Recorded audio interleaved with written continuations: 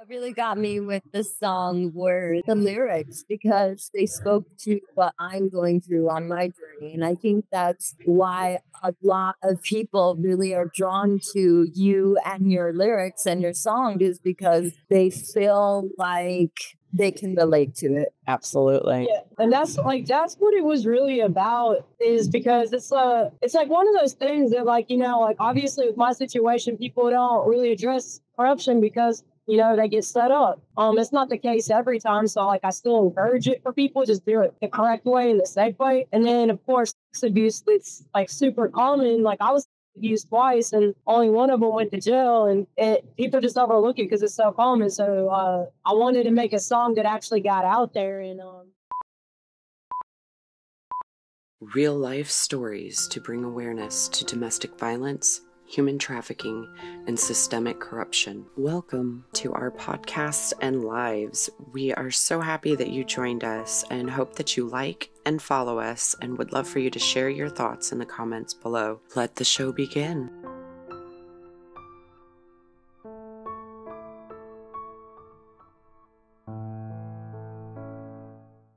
Yeah, we have Saint with us this week, and the lovely Kay Dawn Stone has joined us again.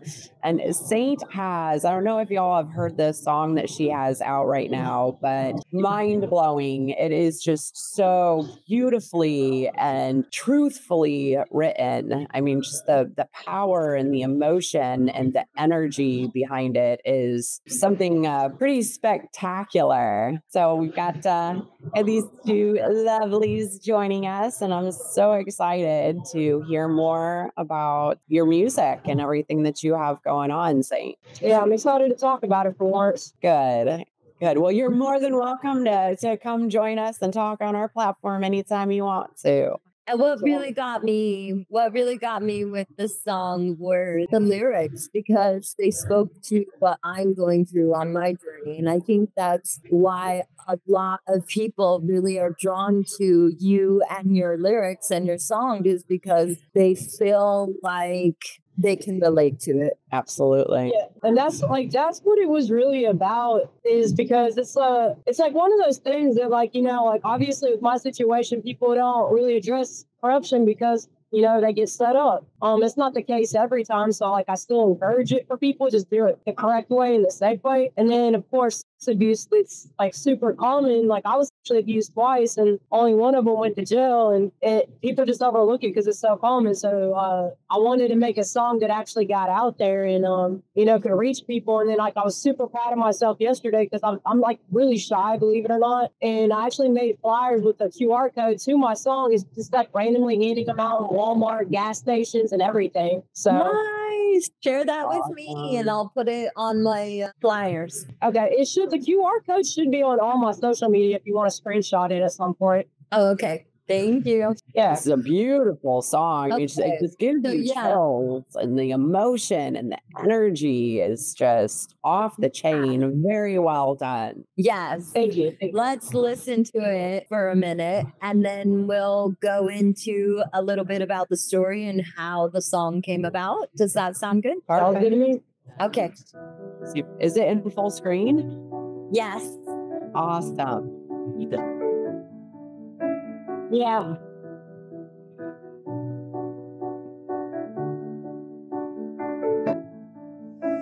Day after day, Been chasing, chasing, running with my head in the clouds. I'm tired, but I'm trying to be patient, be patient. Putting in my 10,000 hours, my 10,000 hours. Been doing this a little bit, almost gave up. Gotta let it down on myself, had to pick myself up, almost killed myself twice. Lost everything, doing one thing right, but at least if I saved one kid, I'll take every single fucking hit. Never gonna shut me up, you made me an advocate by doing what you did. Look. That was renegades against the pedophiles. That was renegades against corruption. The bars are the bullshit assumptions. You can talk crap on name, but you better hope I never hit fame. I'ma use every platform that I've ever had. Expose every dirty comic, expose every pedophile, everything bad. I'm a now now, no about. I ain't got shit left to lose. What about you, huh? You can only hide in your life so long to make your own news. By the time this is done, you'll be wishing for my shoes. By the time this is done, you'll be picked up in the news. By the time this is done, you'll be plastered on the news. Day after day, I've chasing. Those lyrics, though. I know. Don't they just make you feel like, okay, this is representing all the advocacy work we do and how much time we put into trying to protect the children. Like, I love it. It speaks to my soul.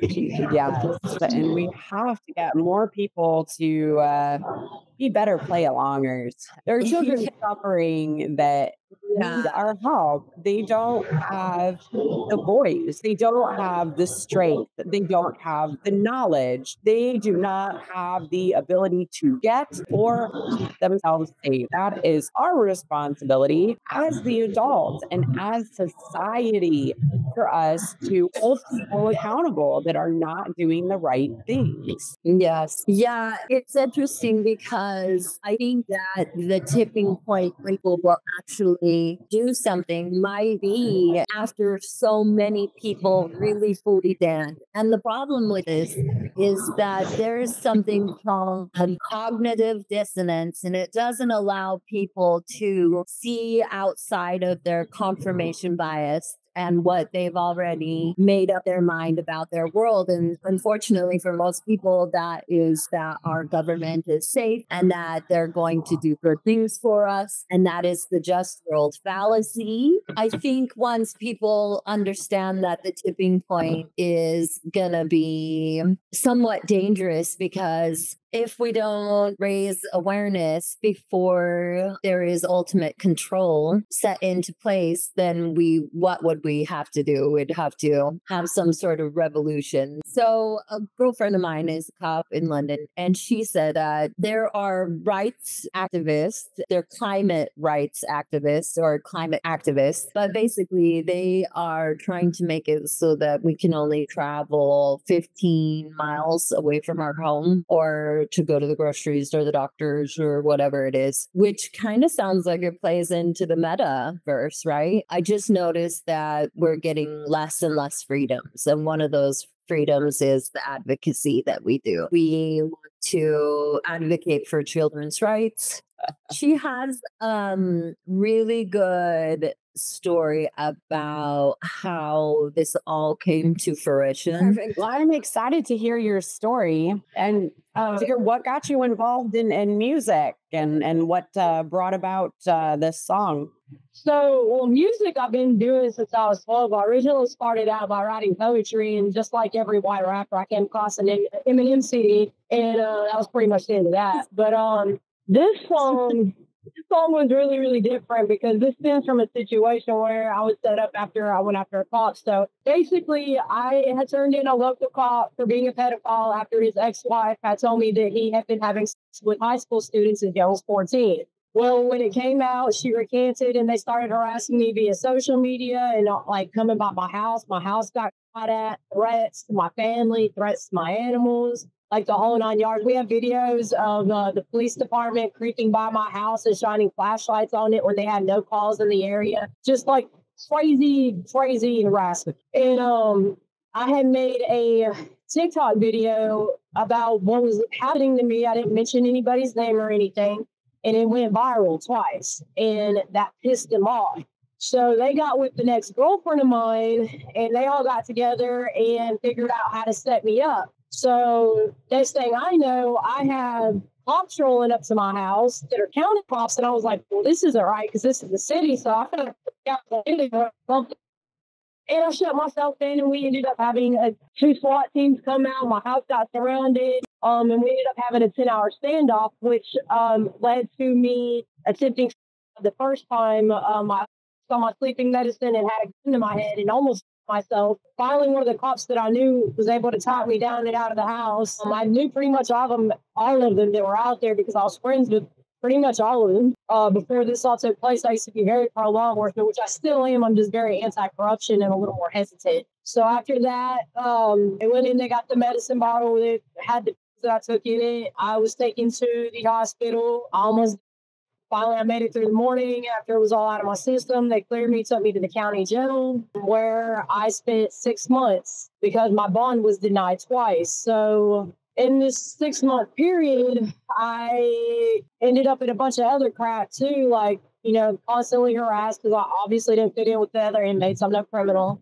And then I was put into isolation at one point, which made me have a mental breakdown and it caused me to uh, try to attempt suicide again. I taken a metal piece off my bracelet, sharpened it, and um, both my wrists taken to the hospital again and brought back to the jail after I was stitched up or whatever. So I finally got a bond on October 31st and my, my family got me out that night. I was out on Halloween night and then they had state police after me for pretty much the same thing, but they were just the cop himself was at this point trying to file charges um, instead of having my ex do it. And they waited. Now these charges, the charges that he filed on me should have been filed with the original charges. Instead, they waited nine months to file them and waited till I got out of jail to file them to try to have my bond revoked so I'd be back in there. But luckily, the judge saw through the shit and I got out in 13 hours on a PR bond. So like that was their last move. But like now, here's the weird thing: is South Carolina state law states that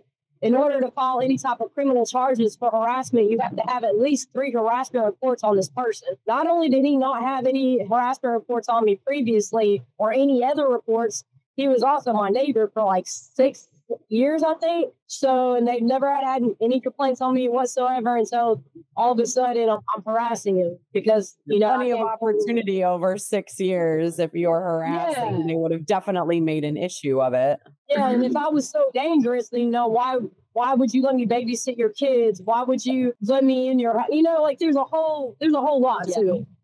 Yeah. of Yeah, judicial- basically they were just trying to uh they were just trying to get my bond revoked so I'd go right back in. They thought they had a plan and then it flew in their face because you know, not the, ju- the judge was stupid as judge. Anyway, so now I'm facing two two misdemeanors and a felony charge. I have court coming up for that this last uh, misdemeanor charge on May 17th, and we still don't have a court date for the first two charges, which we're probably going to take to trial if they're not dropped. Because we have more than enough to prove that my ex was lying about everything and that it was actually the other way around. So um, we have like over 600 files actually from videos, audio. Uh, we hire private investigators. Uh, we have tons of shit basically. I can't say all of it because you know, given circumstances, but we have a lot. So uh, that that whole predicament, um, and then also, like I said previously, I was friends with you know the police department had a nonprofit dedicated to humanizer, and all the ones I thought were good cops, you know, stood there silent like cowards while I was outing a pedophile, and nobody stepped up to you know uphold their oath and their morals. So um, I basically just thought I cut off communication with almost every cop I knew, and it's like that was pretty much the end of that for me. And I never wrote this song, so that's the short version. Yeah, that's awesome. Thank you so much for sharing that. Yeah, that must have been so hard. I remember the shock to my system when I realized how corrupt our actual world is and how corrupt our government is. Like, it was such a shock to my system. And I can't even imagine being in isolation, locked up, for and wrongly accused, facing severe charges. Like, yeah. And it happens and so much more frequently than what people think, too. Mm-hmm. Yeah. Yeah. Well, Yeah, this one, this thank you. Part, so this much. wasn't, yeah, this wasn't the first time that this has happened. Like in 2022, I was a private investigator and went after three dirty cops, a firefighter, a SLED agent, and a solicitor, and they destroyed my life. And I went to jail, jail on they tried to say I impersonated a SLED agent, and then I was actually forced to plead guilty to that because my lawyer basically like if you don't just take this little misdemeanor charge, they're going to try to come after you with something harder. So just bite it and expunge it. So I did. So this was this isn't the first time I've been to jail for going after dirty cops. The second time, well, third now. Wow. Yes, That's- retaliation is very real. Yeah, Oh, yeah. yeah. That's interesting how they manipulate the system for their own demise. So I really love the melody part of your music video. And I was wondering, did you create that part as well, or did you work with um someone to do that? No, actually, um, I'm not really good at writing hooks, which is the chorus. Um, I'm not repetitive. I'm a lyricist, so I, for some reason I can't do it. So I usually buy my beats with the hooks, and I think that beat was uh is bought from his name's like Freak Van something, but he Oh, uh, nice. he's actually like he like makes beats and hooks and stuff for like you know people like like Lady Gaga, Miley Cyrus, stuff like that. So like he's Huh? industry level too. Nice. I didn't even know that was a thing that you could do that. That's really Yeah. cool. Yeah. Yeah, yeah. And now I'm working with the guy. He actually retired out of the industry and he started um this place that's like nonprofit in Charlotte called Backspins, which is a whole studio. And we're working together to uh produce my first album that I'm hoping to release by the end of June, but I'm not sure yet. Nice. Congratulations. That is awesome. That is really, really awesome. And I'd love to support you with any uh motion graphics if you need. Yeah, yeah, I appreciate that because like the whole all this everything that I'm doing, like the music itself is not new. Know, like for instance, like I went out to uh, the Backspin Studio, uh, I think Monday. I thought I was just gonna go meet some people, say hey, and Claude had a different idea. And like I said I'm Shy, he said like he um there's a group of people that came out, like a lot of talented artists, actually producers. They're basically like, we're gonna give you a custom beat, and you have 30 minutes to write lyrics to it. And I'm like, what the can't even write something in 30 days. Like, so um, that was the first challenge. And then he was like, all right, then we're going to go into the studio. And not only are, are y'all going to record it, y'all are going to be filmed recording it. And I was like, oh, shit. I managed to do it. And like, it's part of me kind of coming out of my, sh- my shell and uh, kind of getting past my anxiety. I was still like really hesitant. And then weirdly, one of the biggest things that changed me on the way I look at stuff on like being shy is uh I went to my friend uh Shawnee had called me. She was basically like, Hey, get dressed, we're going to a Hozier concert. I've never been to a concert. So I was like, Oh, okay, and I love Hozier. So we get there and I just remember like seeing the crowd and the energy and how they respond to this one person and his music. And I just like remember looking at Shawnee and I was like, I want this. I was like, and I'm not gonna stop till I have all of it. So that's it's pretty much intense. It's really intense. Yeah. yeah. So I, like I'd never seen anything like that. And I love that you want to shine. That's beautiful because if you're a light worker, man, you're mm-hmm. bringing that light. You're grounding that light. Boom. Absolutely. Can I spread it. like wildfire. Yes. And we're going to promote this because this is the perfect advocate song for all of our advocates, for everybody who wants to protect the children. This is our song. I'm just going to claim it. I'm like really glad that because like when I was writing this song, like I honestly like I'm a perfectionist, so I'm really weird about my music. I didn't think it was good enough, but I sent it off to the Claude and his engineer, and they mixed and mastered it and everything. And the way it turned out, I was like semi satisfied. So I was like, okay, I'll go ahead and release it. But I had no idea that it was going to turn into this. So it's and it's still like it's still going viral right now on TikTok. So very well written and it's there's such a desperate need for attention and awareness to be brought to this topic there's not Mhm. many people that are talking about it and Yeah. those who are talking about it i mean as an advocate just about any advocate you speak with i mean we're we get shadow banned our videos get they're hidden intentionally and so it's it's hard to gain any kind of traction just trying to speak the truth. So it's um it's really spectacular that it has had such amazing success and really excited to see what kind of awareness you'll be able to bring just you know with with a song. It's crazy how something as simple as a song can do so much with something that you know needs to have something done Yeah. So like, it- that's what I love about music. yes. Like It's an inspiration. It can start a revolution. yes so if you're watching this video, you should go to TikTok and follow Saint Con, Saint K O N, and look for the 10,000 hours video uh, with the music that you can use uh, for your own videos. And just let's blow this video up by duetting and or using the sound from her videos so that we can help spread awareness before TikTok gets banned. right Tell us about that, link in the Danielle. description below too for the youtube video and her tiktok account so you want a quick easy way to find her just check in the description and i'll give those to you down below So, um, where are you going today, Saint? Looks like you're on an adventure. the beach. Yay! I need I need the ocean. The ocean is my happy place, and I'm getting.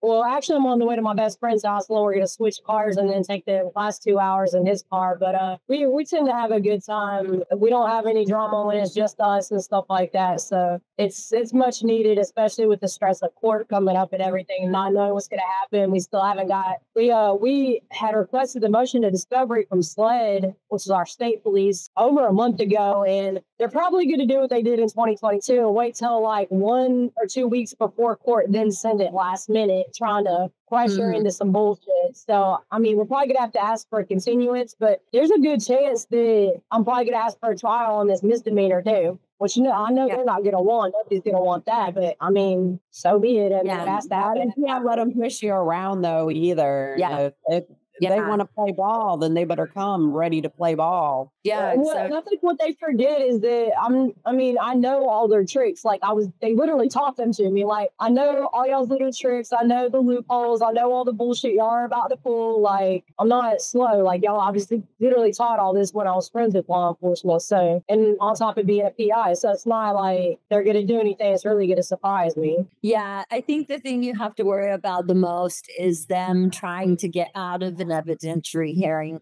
So I think pushing for a jury trial is probably the best thing that you can absolutely do as long as that someone will grant it. You know what I mean? So Yeah, I know that my lawyer was supposed to be sitting down with the solicitor for the two main charges and uh, showing him some of what we had to see if he was going to drop it or if he actually did want to just continue on to trial. But if we continue on to trial and I have to go that far, like when this is over, I mean, I'm gonna be rich basically. Which, Yeah.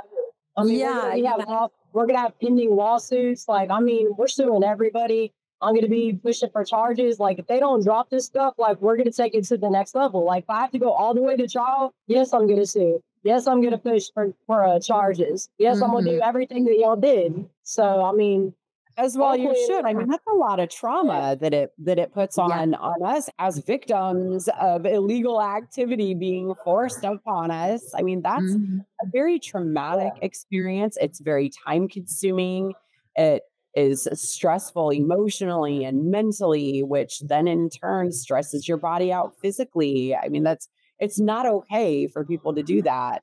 And as society and as communities, if we don't hold these people accountable, they will continue to do what they do. I mean, and that's a big part of the reason why they get away with so much stuff is because they're not held accountable. There's just so many people that are, uh, what's going to be done about it anyways? Kid, I'm not even going to worry about it. Well, or they're scared because you know what, like things that happen to me, like the, the retaliation. Yeah. know, Mhm. So, but if we all stand up, then I mean, that's Exactly. That's a lot of people to try to retaliate against and Yeah. That's it'll right. get to the point eventually to where that's not going to be you know they're not going to be able to get away with that but it will take us as society coming together and rising up Exactly. That's where they budged up is they made so many of us that we're stronger together. And as long as we're all being brave and like actually speaking up about what is happening, then we can possibly show them our numbers and scare them back to the depths of hell from which they came. yeah Yeah, see, like, we wanted we wanted to actually because we started um renegades against corruption and pedophiles, and we actually were wanting to get like a group together for a couple of peaceful protests. But a lot of the people that are supporting this aren't even in South Carolina, unfortunately. So, Uh, um, yeah, it's a process, and I don't know how many people would want to fly out to South Carolina. But I mean, there's nothing fun out here. I hate this state. mhm. Um, so yeah, like it's a it's a whole process, and a lot of speed bumps Maybe- too. Maybe you could do it in DC. Maybe I mean, I Yeah, a lot of people do that. Yeah, a lot of people would do that, something like that. Or you could have like a beach vigil and have people show up to the beach and protest at the beach. People would do that. Well, I wanted the protest to be at the department that made the mistake of filing false charges on me after conducting an Yeah. improper investigation. Yes, that's a good idea. I want the Well- people that are responsible held accountable. Yeah. Start yeah. putting out some uh, TikToks and such looking for other victims in your area because if they pulled that shit with you, you damn Well, sure ain't I the only one. I did, but I have to be careful because they are watching my TikTok like a hawk right now. So if I do oh. anything that can encourage anything that's illegal, it doesn't matter. Like, but I have to just be super careful because we don't want to give them anything they can use against me. So if I'm like, oh hey, like let's all get together and go protest here, or th- like they're gonna be like, oh she's inciting riots. Yeah. Like they're gonna twist it basically. So, and we actually found a couple of his victims, but one of them, after I got locked up, basically vanished. And I don't know if the other one's gonna talk or not. Um, the FBI is involved. That uh, I don't know what they're doing because the FBI is very quiet. They're basically like they take your information and then they kind of just disappear and then they pop back up when they need to talk to you. yeah. So, well, hopefully they're doing something, but like apparently this was not the first time, and I was not the first person to come to the, to them about him specifically with these allegations. This isn't the first time, and it's not even the second time, from my understanding. Wow. So, So um, you can- apparently it's been going on a while. Yeah, you can also check out each court player, like each cop or the judge, on a website called Justia. And I'll send you the link of where you go to exactly so that you can put in their name and it'll pull up any lawsuits against them. So, or that have happened or that are.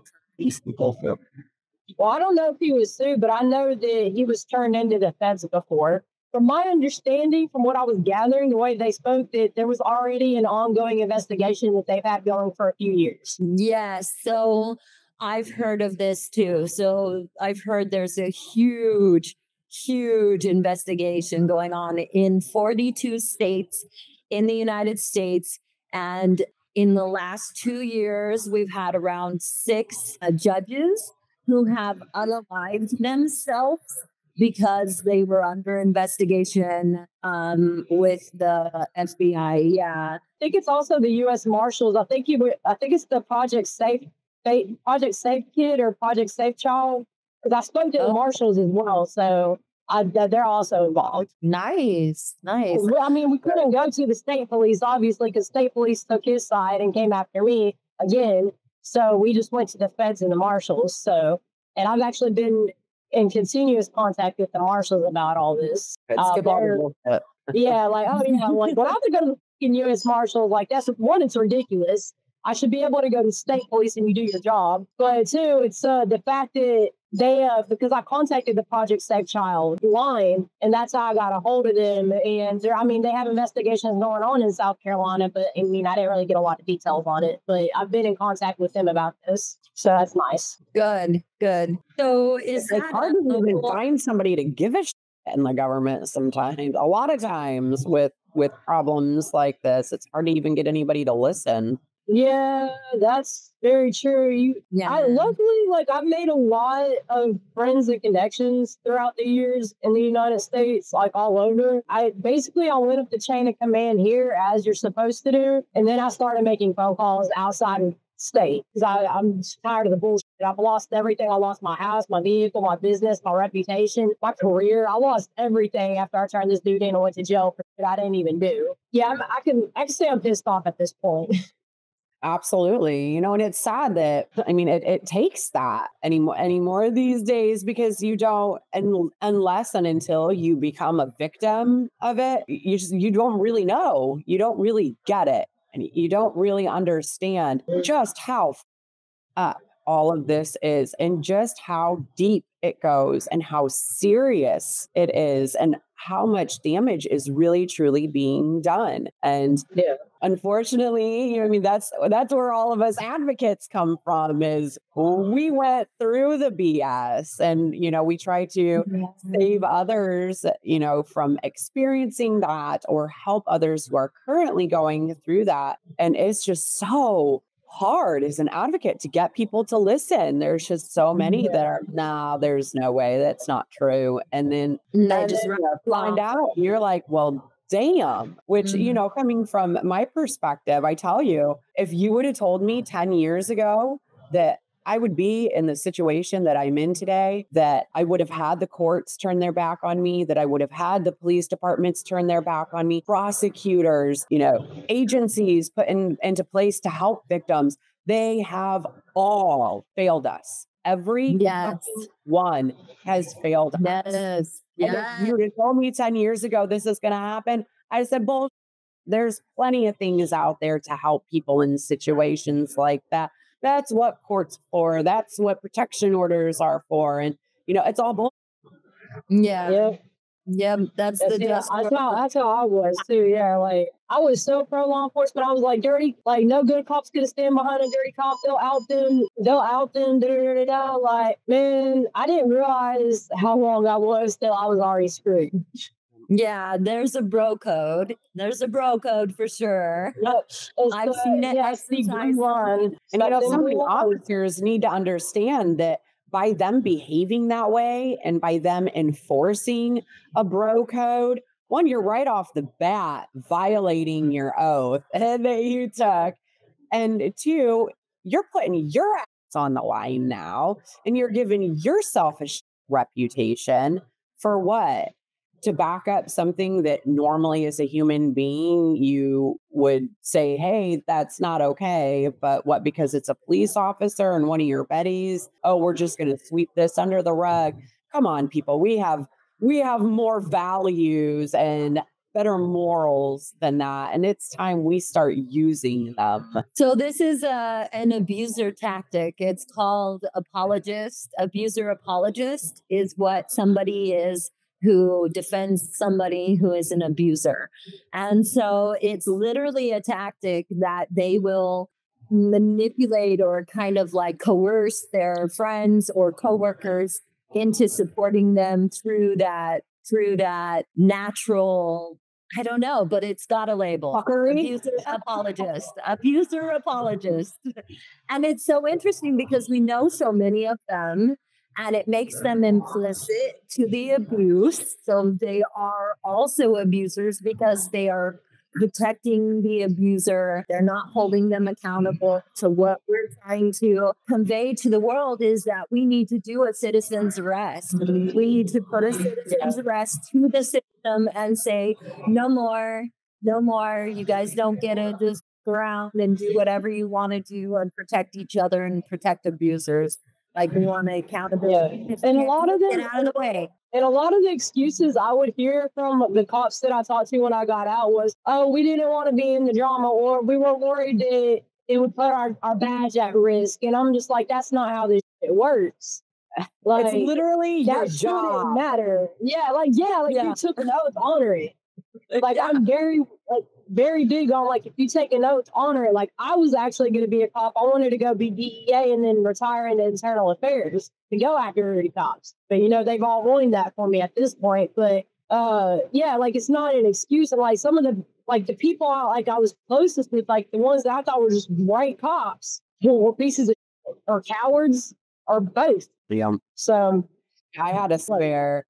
Um, there was somebody here in my hometown that had had run for for office for sheriff at one point in time, and he was all about calling out the corruption and all about standing up for the people and doing the right thing and making sure the right thing was going to be done in our community and blah blah blah blah.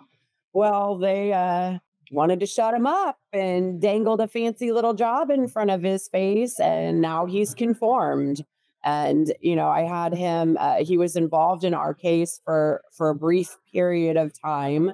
And uh you know was helping me look into everything. And he's just oh my gosh this is crazy. And you know i wasn't really sure that i believed you from the beginning but now that i'm i'm looking into everything they're treating me the same way. And oh my gosh blah blah blah. We're gonna get that get to the bottom of this. And and i'm gonna help keep you know help you keep your daughter safe and the judge apparently got wind and approached him and told him sorry you're not allowed to work with them because they're currently going through a court case. Um, he he works for the court system. He does uh, works with children and such. There's a program that they have to you know, if a child is, you know, causing trouble, it's like a diversion type sort of program to, you know, help put kids on the right path before they get into trouble and get caught up into the legal system and such.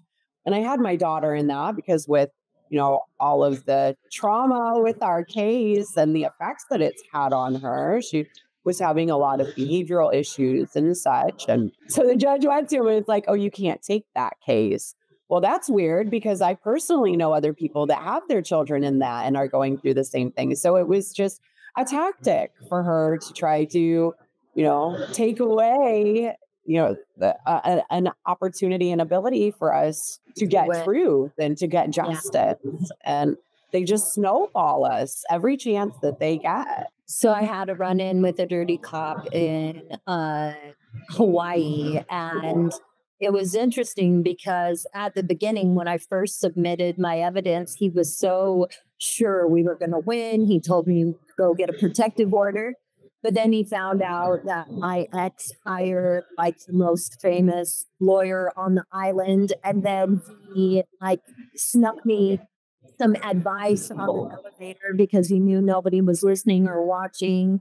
And he told me just to get out of town and try to go to where my family was and try to bring it up all there because he knew that they were going to bury it. And when I went, because I had video evidence of child sexual assault. And so when I went into uh, the courtroom, they literally mocked me. And then after that, he uh, took my daughter right after a forensic exam and placed her into child foster care and mm-hmm. said that was the only way to protect her from going with her father. But then the very next day tried to ask me if I would recant my story. So wow. Like, yeah, they literally are just POSs. And I remember I had to give him, he said I had to give him my laptop to see if my ex was like, you know, distributing anything through my laptop. And because of the video that I gave them, they wanted that and my hard drive. So I had to give it to them. And they took my ex's guns because, you know, they were trying to protect us or whatever. But three days later, my ex got all of our guns, including mine. And they never, ever gave me back my laptop or my hard drive. And then when I walked into the police station after that, he looked me up and down. Did you know that I had for because I mean I was married I was with my ex-husband for 12 years so he recorded something put it on the laptop and they had it and so he was he literally looked my body up and down when I walked into his office and I was like what the heck? And now I've had like three people tell me that they've seen porn with me in it. So either my ex or the cops have put that out on the internet what the fuck yeah. And they still, they never ever gave me back my laptop, which was like a $3,000 laptop because I needed a gaming computer for all my animation that I was doing at the time. And they uh, took my oscillating camera fan, like it was a fan that was a camera, nanny camera, like a hidden camera. They stole that too, and it was like $400. They wouldn't even give it back. Gave my Glock gave my gun to my ex. I don't see. I just don't get how they can do like that, and then they just get away with it, and there's nothing. Yeah, what, they what are you gonna do? They have impunity, so they just work under their bro code and they think that that's going to protect them in all cases and and for this cop it did because now he's the sergeant of course there is one group um, of cops that actually goes after dirty cops that I came across on a TikTok. I think they're called Shadow O's. And um, they were going to help me, but we didn't have a lot at that time to give them. And we were kind of hesitant on giving them anything, also just because of everything going on. Yeah, Shadow is apparently like a group of cops that go after dirty cops. Nice. And they're like all still like on duty. I don't think they're like, they're, there might be like a couple that are retired, but I think they're all most of them are just still all active duty as well. Nice. And that's what we that. need. We need people in power. We need you to stop being silent. Yeah. Speak out. We need help. And there are so many. I'm not going to be naive enough to think that it's everyone, that all judges are bad, all guardian ad litems are bad, all officers are bad. I'm fully aware that they are not. But the problem is that the good ones are not doing enough to bring light to the real topic, Well, the real problem. Yeah, the problem is just like Ted Gunderson, head of CIA for 27 years, said, the problem mm-hmm. is is that those who seek to do harm have been putting themselves in positions of power. They've they have told each other, let's infiltrate the system. They put themselves in power. And so we need to infiltrate the system back. So I don't know. I think more good people need to be cops. Good people need to be lawyers and judges and and people who have been through this kind of stuff need to come forward and place themselves back into positions of power so that we can take back the government. Yeah. Well, I know if like I, if we ever get these charges dropped, I know the first thing I'm doing is applying to be a police officer. Just to, one, despite them, fuck them, and two, because like I, I do want to do internal affairs at this point. Like I'm dead set on it. Yeah. Yes, we have to start getting the, all these advocates and all these people that have experienced this trauma. I know you feel that calling, and you're you're feeling called to do something, but you don't know what. This is Mhm. it.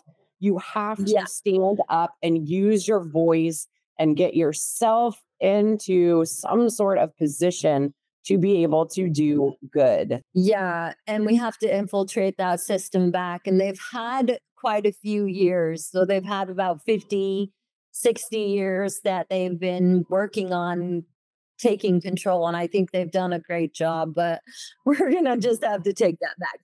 Yeah, I hope they enjoy it while it lasts because that's coming to an end very quickly. Yes, yes, this ends now. We are coming. Yes, no more. All right, guys. Thank I only have about five more minutes too, so Well, let's just say thank you to you then. So, thank you for being our inspiration. Thank you for creating community. We pre- Yes.